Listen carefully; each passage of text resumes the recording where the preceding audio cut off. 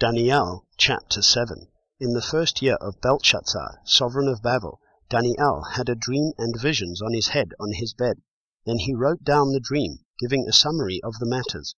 Daniel spoke and said, I was looking in my vision by night, and saw the four winds of the heavens stirring up the great sea. And four great beasts came up from the sea, different from one another. The first was like a lion, and had eagle's wings. I was looking until its wings were plucked off, and it was lifted up from the earth, and made to stand on two feet like a man, and it was given a man's heart. And see, another beast, a second like a bear, and it was raised up on one side, and had three ribs in its mouth between its teeth. And they said this to it, Arise, devour much flesh. After this I looked and saw another, like a leopard, which had on its back four wings of a bird. The beast also had four heads, and rule was given to it. After this I looked in the night visions, and saw a fourth beast, fearsome and burly, exceedingly strong, and it had great iron teeth. It devoured and crushed and trampled down the rest with its feet, and it was different from all the beasts that were before it, and it had ten horns. I was thinking about the horns, then saw another horn, a little one, coming up among them, and three of the first horns were plucked out by the roots before it. And see, Eyes like the eyes of a man were in this horn, and a mouth speaking great words. I was looking until thrones were set up, and the Ancient of Days was seated. His garment was white as snow, and the hair of his head was like clean wool. His throne was flames of fire, its wheels burning fire. A stream of fire was flowing and coming forth from his presence. And a thousand thousands served him, and ten thousand times ten thousand stood before him. The judge was seated, and the books were opened. I was looking. Then, because of the sound of the great words which the horn was speaking, I was looking until the beast was killed, and its body destroyed and given to the burning fire.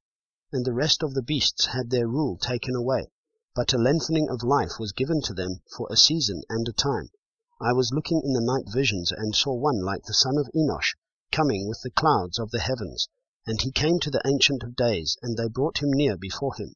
And to him was given rulership and preciousness and a reign, that all peoples, nations, and languages should serve him. His rule is an everlasting rule, which shall not pass away, and his reign that which shall not be destroyed.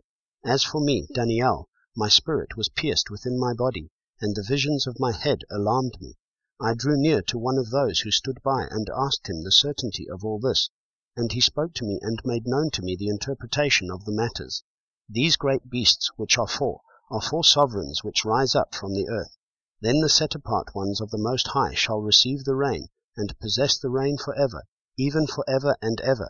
Then I desired for certainty concerning the fourth beast, which was different from all the others, very fearsome, with its teeth of iron and its nails of bronze, which devoured, crushed, and trampled down the rest with its feet, and concerning the ten horns that were on its head, and of the other horn that came up, before which three fell, this horn which had eyes and a mouth which spoke great words, whose appearance was greater than his fellows.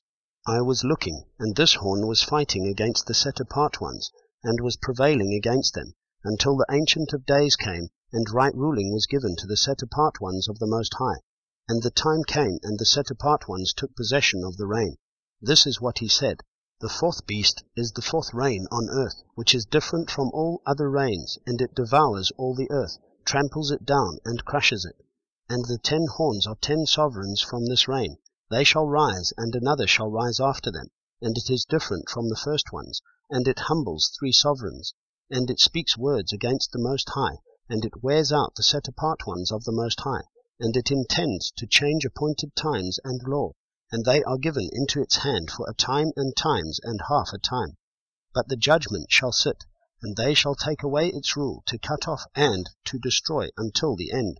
And the reign, and the rulership, and the greatness of the reigns under all the heavens shall be given to the people, the set apart ones of the Most High. His reign is an everlasting reign, and all rulerships shall serve and obey him. This is the end of the matter. As for me, Daniel, my thoughts greatly alarmed me, and my color changed, and I kept the matter in my heart.